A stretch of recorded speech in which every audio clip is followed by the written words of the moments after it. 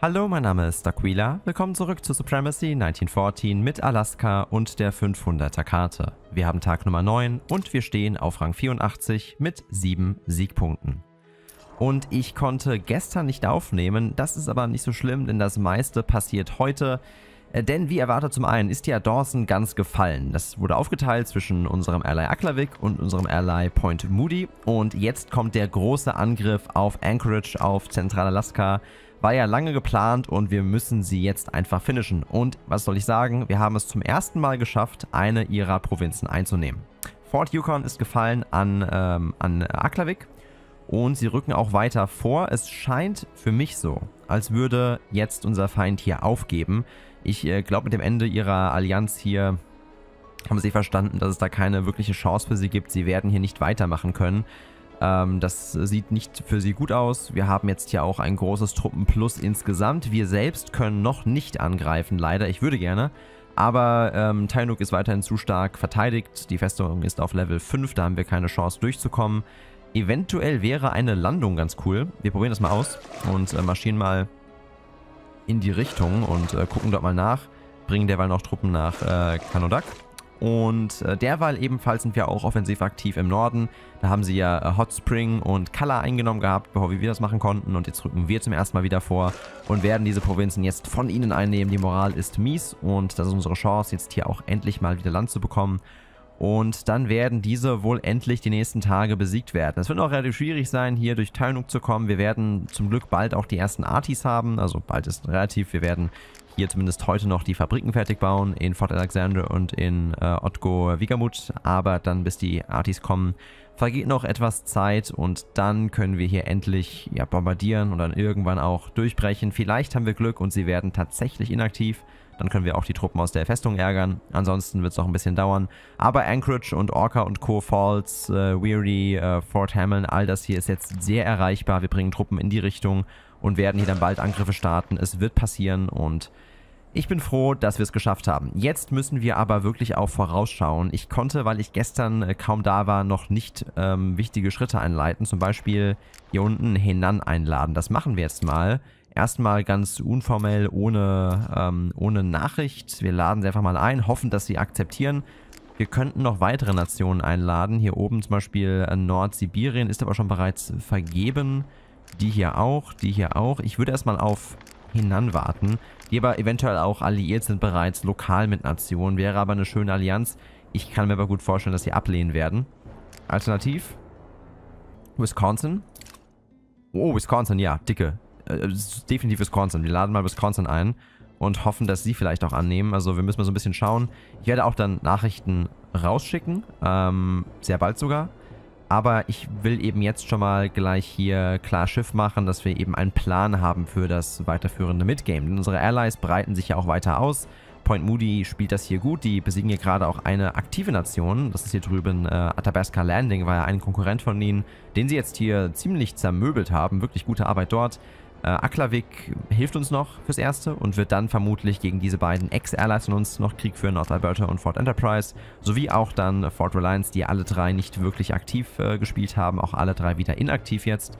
Da also auch eine gute Chance für sie zum Ausbreiten. Also die beiden haben echt viel zu tun, die werden viel bekommen und ich denke, zwei neue Allies wären jetzt genau das richtige Signal für uns. Ich sehe gerade hier landet Irland übrigens in Island. Ist auch spannend, wenn die gerade hier oben in Grönland aktiv sind. Ist ja auch witzig.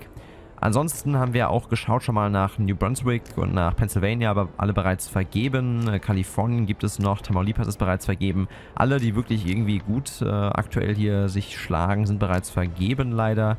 Das heißt, wir müssen jetzt wirklich schauen, dass wir weitermachen. Ansonsten könnte man sogar nach Brasilien schauen irgendwann, also so ein bisschen weiter weg. Oder hier unten, ähm, das ist äh, hier Papua-Neuguinea, aber die sind auch bereits in einer Koalition, die aber jetzt nicht wirklich groß ist.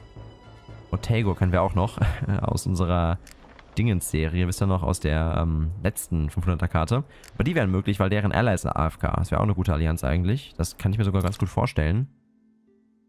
Aber die sind im Level sehr niedrig, was aber eigentlich nichts heißt. Also ja, ich versuche gerade so ein bisschen zu gucken, äh, wer noch so für uns passen würde. Werde auch dann Nachrichten rausschicken und auch nochmal mit der Allianz kommunizieren, unsere Ziele. Aber für uns erstmal ist klar, wir müssen jetzt hier hoffentlich in zwei Tagen vielleicht schon, vermutlich wegen Tainuk länger, endlich Zentralaska besiegen. Alles einnehmen Und dann müssen wir bauen, bauen, bauen. Denn wir müssen hier den Übersatz wagen nach Sibirien. Wir brauchen hier drüben eine Position. Wir brauchen hier drüben einen Brückenkopf. Mindestens das hier, idealerweise mehr. Aber selbst das hier braucht halt ewig lang zum Einnehmen, wegen der Länge der Provinzen. Und dann haben wir ja schon bereits aktive Nationen hier drüben, die uns sehr früh dann hier auch stoppen werden. Also ideal ist das nicht.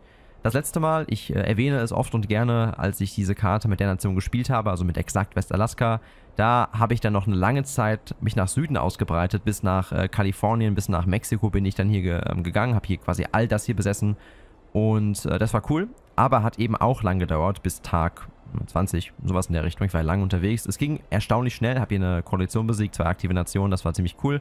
Und das war sehr wichtig, aber dann war ich eben auch da, sehr verzögert, konnte nur kleine Landungen hier drüben machen, habe dann eben gleichzeitig hier drüben das eingenommen. Aber es war alles verzögert und dann war ich dann irgendwann hier und dann war hier schon alles organisiert und dann war das echt blöd und ich war zu spät. Und das gleiche könnte jetzt passieren, aber nicht, weil ich hier aktiv bin, einfach nur wegen Zentralalaska. Also wir werden dann noch eine weitere Fabrik versuchen zu bauen. Das ist auch möglich. Ich habe jetzt gestern nicht aktiv gespielt, daher heute noch ein bisschen was zu tun. Wir können zum einen eine ganze Ecke Fisch verkaufen und eine ganze Ecke Getreide verkaufen. Das ist schon mal Punkt 1. Und Punkt 2 ist dann, was wir damit machen, nämlich wir kaufen erstmal Stahl ein, der leider teuer ist. Öl brauchen wir auch, kaufen auch Öl ein und sind dann eigentlich schon am Limit. Wir haben zwar viel Holz, aber Stahl ist gerade Mangelware. Wir können so ein bisschen vielleicht noch hier mit den Ressourcen spielen, genau. Ja, wir können jetzt nicht wirklich irgendwas bauen, weil der Stahl wird gebraucht später für dann die weiteren Ausbauten. Also wir können quasi jetzt nur heute Fabrik Level 2 in Bau bringen und dann zwei Artis produzieren vielleicht, wenn wir noch ein bisschen Holz verkaufen. Mehr wird erstmal nicht gehen. Gas ist, fürchte ich, doch einiges wert. Wow, ich lag falsch. Gas ist gut. Okay, dann können wir sogar noch ein bisschen mehr kaufen. In Form von Stahl. So zum Beispiel. Das wird dann okay sein. Die Einnahmen dieser Provinzen werden helfen. Ähm, was ist hier oben eigentlich? Wir schauen nochmal nach. Wir waren jetzt eben gestern sehr defensiv, heute sind wir offensiv, da wir jetzt auch sehen, dass sie vermutlich AFK sind. Sie haben nämlich gestern zum ersten Mal kein Gold eingesetzt, um hier drüben die Provinzen zu halten. Wir können also davon ausgehen, dass sie jetzt aufgeben. Ähm, sie hätten das gewinnen können. Hätten wir nicht solche Diplomatie betrieben, hätten sie das easy gewinnen können, weil ihre Goldmark das einfach für sie gemacht hätten. Aber ich glaube, sie haben jetzt den Spaß auch verloren. Und das merkt man auch öfters. Goldmark-Player verlieren sehr schnell den Spaß, weil eben die Ergebnisse nicht stimmen. Du versuchst schnelle Ergebnisse zu bekommen durch Goldmark und wenn dann die Ergebnisse nicht passen, dann ist der Frust halt da, weil du hast zum einen Geld ausgegeben oder Gold, je nachdem. Und zum anderen hast du natürlich dann ähm, äh, nichts erreicht trotzdem. Und das macht es halt doppelt und dreifach frustrierend. Ähm, ja, das ist, äh, das ist hier wohl passiert. Gut, also äh, Orca ist vielleicht auch frei. Wir werden es dann sehen. Anchorage zumindest sollte einnehmbar sein. Wir werden da mal schauen. Ähm, Tyrannuk selbst werden wir nicht bekommen. Unsere Spione weiter aktiv. Ich werde mal die Spione abziehen übrigens. Denn ökonomisch sind sie ja jetzt eigentlich besiegt. Und wir gehen nach Tyrannuk und versuchen dort aufzudecken, zu äh, zerstören, zu sabotieren. Das volle Programm. Und äh, ja, das ist echt super wichtig für uns. Toller Tag. Ähm, gestern war gut. Unsere Allies machen das toll. Die werden bald noch hier ihre KI einnehmen. Dann werden sie nach Süden sich ausbreiten, Richtung USA zum ersten Mal. Washington, Oregon einnehmen. Alles AFK hier drüben. Das ist leider kein Ally für uns. Wir müssten die hier wirklich schnell ausschalten. Das ist hier ähm, North Montana. Weil die sind in der Koalition mit Tamaulipas und Co. Und die ist stark. Und wir müssten die einfach schnell entfernen, bevor die irgendwie dann eingreifen können. Das wäre für uns wichtig, bevor nämlich die dann hier einfach alles bekommen würde ich wirklich vorschlagen, nach denen hier, die hier. Das fände ich jetzt am relevantesten. Mal schauen, was unser Ally macht. Ich vertraue ihn da, werde ihn da auch nicht irgendwie reinreden. Nicht Backseat Game, die machen das super. Aber das wäre mein Schritt, weil wir dadurch dann nämlich vermeiden können, dass die Koalition hier stark wird. Das ist einfach, ne, weil da können die nichts gegen machen. Die können es ja nicht aufhalten. Die haben ja keine, keine Truppen, keine Schiffe, keine Flugzeuge. Und dann würden sie den Ally einfach sterben lassen. Ähm, das wäre ganz gut für uns. Und Aklavik hat einen relativ straightforwarden Gameplan. Sie ziehen bereits Truppen ab nach ähm, Osten, das ist super. Werden uns hier helfen, werden hier dann äh, einfach die Linien durchbrechen, so ein bisschen Gebiete einnehmen. Gerade die Festungen sind für uns gerade hart zu knacken.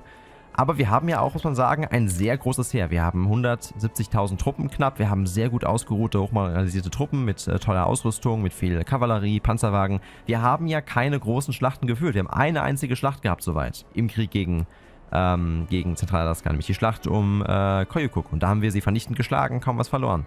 Die einzigen wirklichen Kämpfe, die wir hatten, waren jetzt hier im Norden gegen äh, die KI. Und das lief ja auch alles ganz gut. Also wir sind sehr ausgeruht. Wir haben nicht einen brutalen Krieg gesehen mit äh, viel Zermürbung, mit großer Materialschlacht. Wir haben selbst kaum was verloren. Wir mussten halt nur warten und mussten Festungen bauen. Das war ziemlich nervig. Die ähm, 6000 Stahl kriegen wir nie wieder.